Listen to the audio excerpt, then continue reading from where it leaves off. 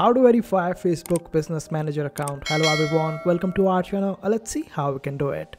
So for this, just simply go to your business manager account and after that open up security center. Over there, you will be able to find the option of start verification, but make sure that you know it is not necessary to verify for each and every business out there. If you want to access certain technologies and features, only then go for the verification. Also, there are certain businesses which are required to be verified. So just know this before doing it.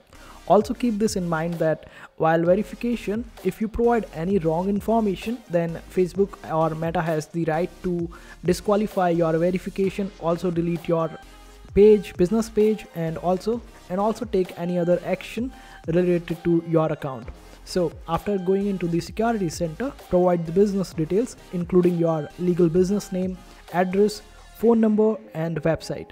After that you need to confirm your business details.